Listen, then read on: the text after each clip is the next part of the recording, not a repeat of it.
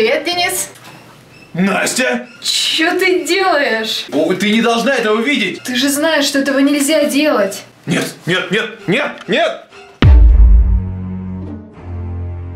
Оу, ну раз уж застукали с таким делом, давненько на этом канале не было всякого запрещенного контента. И кстати, сегодня рекомендую вам подписаться на канал Хакни Жизнь. Здесь вы можете узнать множество советов на любую тему. Например, как завязать галстук за 10 секунд или как собрать часы за 5 минут. А может вы хотите сделать интересную сладость своими руками? Тогда вот вам канал Хакни Жизнь. Подписывайтесь, ссылка по аннотации и в описании. Итак, данные мультфильмы вы могли видеть раньше. Все они лежат в открытом доступе в интернете, и некоторые из них могли даже попасться кому-то из вас на кассетах или на дисках. Я напоминаю, что запрет этих мультов означает всего лишь рекомендацию. Не показывать их в кино, по ТВ и так далее. Эти мультфильмы при желании доступны и доступны всем, но смотреть их вам не рекомендуется. Хотя откровенной жести в них признаться нет. Но тем не менее, давайте сегодня прикоснемся к чему-то запрещенному сильными мира сего. М? В год Второй мировой войны выходило множество мультов, основной целью которых служила пропаганда. И эти мультфильмы были рассчитаны на все возраста.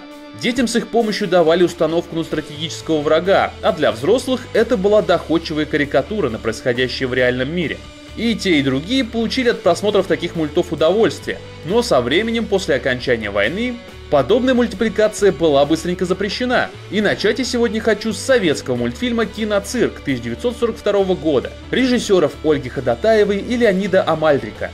Этот сатирический киножурнал представляет собой забавную карикатуру на Гитлера и его приспешников. Так вот, в первом сюжете дрессировщик Адольф Гитлер занимается со своими собачками. В образе песелей, кстати, здесь предстают лидеры европейских стран, союзников Германии. Собачки носят имена Муссолини, Хорти и Антонеску и буквально делают все, чтобы развеселить хозяина. А когда он бросает им кость, они дерутся за нее.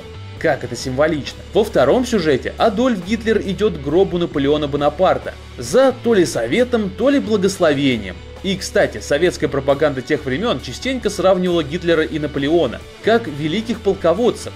Встречалось это сравнение и в киносюжетах, и даже в песнях. Вот и в мультипликационном киноцирке Наполеон ничего хорошего не советует Гитлеру, а охотно готов подвинуться в своей могиле. Ну и в третьем, завершающем сюжете этого мультфильма, Гитлер жонглирует факелами, стоя на бочках с порохом. Каждая бочка символизирует одну из покоренных нацистами стран, которые, конечно же, в конце логично взрываются. И все это так здесь весело обставлено, что хочется стоя аплодировать происходящему. Наверное, потому мульт и называется киноцирк. И вот так вот нейтрально в Советском Союзе поднимали такую острую тему путем пропаганды. И должен сказать, это был не самый жестокий пример, учитывая мировой опыт. Я уже как-то упоминал диснеевский мультфильм «Дети Гитлера» у себя на канале. Но в этом топчике сам Сталин велел его упомянуть снова. Так вот, «Дети Гитлера» — это очень занятный мульт, сделанный в стиле классической диснеевской анимации и рассказывающий о том, как из обычных, еще неприступных немецких детей Жуткий нацистский режим делает безжалостных фанатиков своего дела.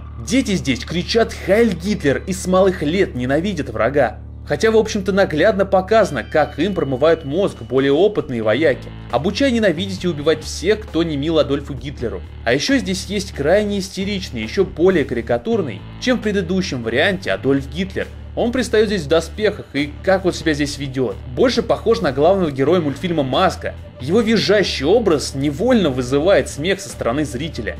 И разве нужно тут что-то еще комментировать? Ну, в смысле, почему этот мульт был запрещен? Даже на ютубе этот мультфильм сегодня не так уж доступен, как, например, тройку лет назад, когда я впервые на него наткнулся. Дисней упомянули, а что же там другая знаменитая студия братьев Warner? Здесь в 40-е годы тоже выходило несколько пропагандистских мультов, и про некоторые из них я, кстати, рассказывал предыдущих выпусках про запрещенные мультфильмы. Но сегодня остановлюсь на анимационной короткометражке «Свалка Даффи». Не обращайте внимания на непривлекательное название. На самом деле это свалка опять же про войну. Сюжет мульта рассказывал о Даффи Даке, который здесь владеет маленькой свалкой металлолома. Весь этот металл можно переплавить в оружие, которое поможет во время войны союзникам. Потому Адольф Гитлер, когда познает про эту свалку, буквально взбешен. Он сжирает первый попавшийся под руку ковер, рвет и мечет, желая немедленно разобраться с Даффи Даком. И сначала в этого утенка запускают торпеду с бешеной козой, которая жрет все на своем пути, в том числе и металл. Но Даффи в итоге справляется с ней, и не только с ней, едва ли не умерев, он вдохновляется речами, э, судя по всему, отцов-основателей в утином обличье. И далее, превратившись в подобие Супермена, дает нацистам люлей. Мультфильм «Свалка Даффи» очень психоделичный и даже глупый. Впрочем, как и вся утрированная пропаганда тех лет. Ведь люди шли в кино, чтобы расслабиться, особенно в такие тяжкие времена. И да, благодаря таким развлекательным странным мультфильмам, смеялись зрители даже над серьезными вещами. Называется мультфильм «Закопаем ось» и посвящен он лидерам стран оси. Так на Западе именовали Германию, Италию и Японию времен Второй мировой. Они входили в так называемый союз под названием «Ось». И хотя вид анимации здесь другой, суть остается прежней. Неадекватный Гитлер, который сразу после появления на свет убивает Аиста, который его принес, собакоподобный полоумный Муссолини и скользкий как змей японский лидер. Все они показаны форменными идиотами, а кукольные фигуры придают им максимально дебильный вид. И в итоге они смотрятся глупо и в то же время как-то криповато. Куклы-то эти на самом деле существуют, понимаете? Поэтому в отличие от рисованной анимации, воспринимаются особенно жутко.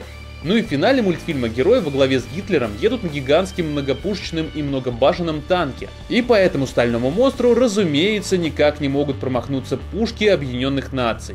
Так что финал для нас счастливый, но не для лидеров оси. Ну и напоследок приведу в пример ответную пропаганду от Германии. Вот этот мульт, на мой взгляд, очень интересный. Не зря я оставил его напоследок. Он вышел в 1943 году и назывался Nimbus Libere. И, по-моему, это имя одного из героев. Этот мультфильм был снят нацистскими аниматорами специально для жителей оккупированной Франции. Вначале диктор, судя по всему еврей, во всяком случае внешность его говорит об этом, рассказывает французским слушателям о том, что освобождение скоро придет, и якобы всех ждет счастье. Параллельно зрителю показывают несколько самолетов с персонажами популярных американских мультфильмов.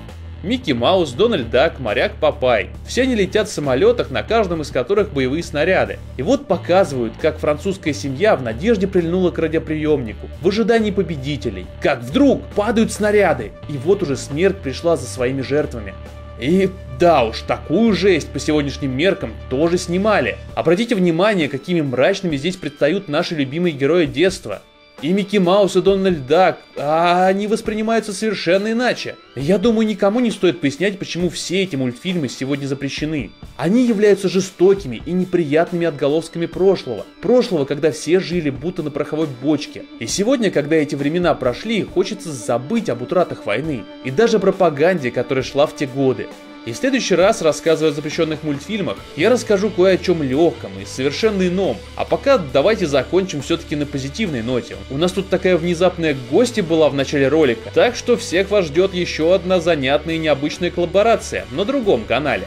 Вот такая вот сегодня была у нас подборочка запрещенных мультфильмов. Надеюсь, вам понравилось. Вы поставите лайк этому видео, подпишитесь на этот канал, а также подпишитесь на канал Насти Герц. Во всяком случае, заходите и смотрите наши видео общие, которые мы записали, старались быть для вас юными волшебниками. Так что переходите по ссылочке в описании, в аннотации и так далее.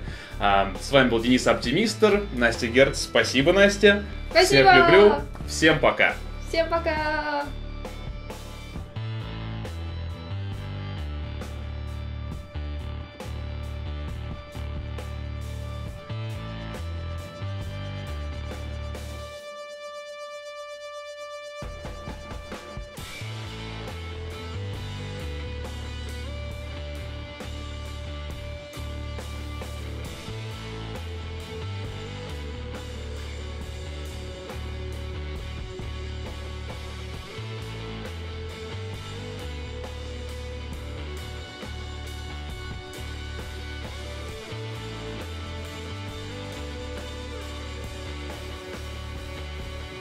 Уходи, уходи, тебе нельзя это видеть! Не так. Как, Денис. хорошо. Ну как-то... Я драма, у меня драма, я переживаю за ее психику. Ты должен быть напуган. У меня двое больных детей и больная раком жена, и я переживаю за то, что Настя Герц увидит. Я в образе. Кто-нибудь заметит отсылку, что у меня фамилия немецкая. А там Гитлер. Вот. А там Гитлер.